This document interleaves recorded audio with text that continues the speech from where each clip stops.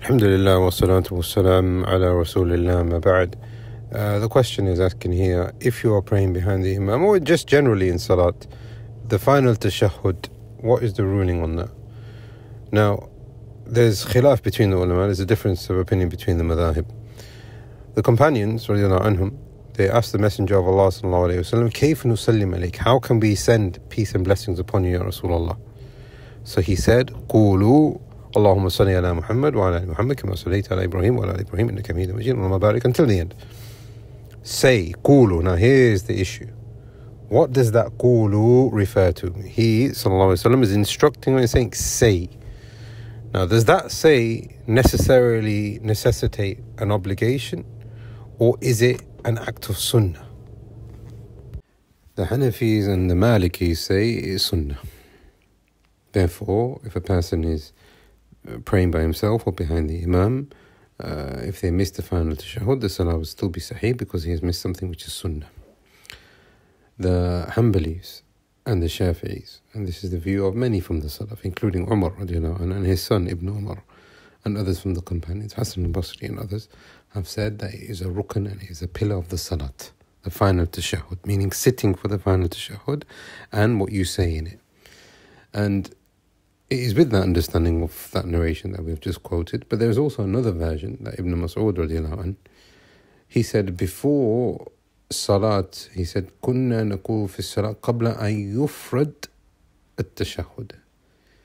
Before we used to know what to say in the end of the Salah, we used to say, As-salam ala Allah, As-salam ala Allah, As-salam ala Jibreel, As-salam ala Mikael.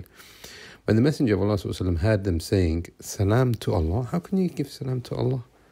when Allah is as salam.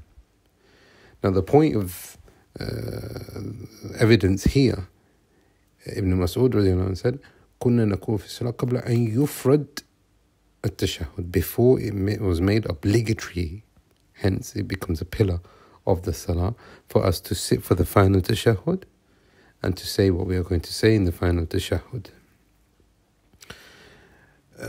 before we move on, I mean, uh, it, it can be a little bit confusing in certain books of fiqh.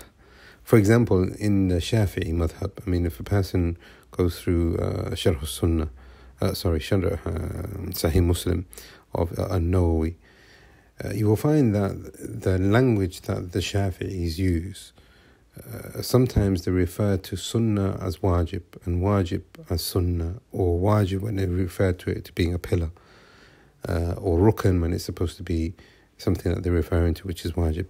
Therefore, sometimes when the person is reading the books of fiqh, this is just a side benefit. Uh, they could use the word sunnah, but they mean wajib when it comes to the sifah salah, when it comes to the description of the salah. But here, these are the two opinions. Some of them have said it is sunnah, and some of them said that it is a pillar of the salah. If it's a pillar of the salah, then the person must do it. Now, this is not really an issue. If a person is praying by himself, I don't think it's conceivable that a person's just going to leave the final tashahhud. Everyone does it, even if you feel it to be sunnah and this the view that you follow, people do it anyway. So there's no issue with that. The issue is when you're praying behind the imam. Now, if you are praying behind the imam and you are a late comer, again, there's no issue. Because your final tashahhud is going to come because you've still got some rak'at that you need to make qada of. Not an issue. The issue is if you are praying behind the imam and the imam either for some reason the imam's going really quick and you didn't get to finish your tashahhud, final tashahhud, or the imam was going at a normal pace but you were behind or you know you got delayed for some reason, whatever it might be, you know, so you started again the final tashahhud the Imam finishes the Salat, but you've not finished your final tashahhud. What do you do in that scenario? Now, those two madhabs that have said that is a pillar, they have said, just like any other pillar, even if you're praying behind the Imam, you must do it. And this seems to be the correct view. Uh, Sheikh Ibn Aziz bin Baz, rahimahullah, he was asked, if the Imam has finished and you haven't finished your final tashahhud, what do you do in that scenario? He said, you finish it. You don't finish with the Imam you finish your final tashahhud and then you make the taslim. This is because it is a rukn of the salat. We ask Allah subhanahu wa ta'ala to give us beneficial knowledge and righteous actions. And Allah subhanahu wa ta'ala knows best.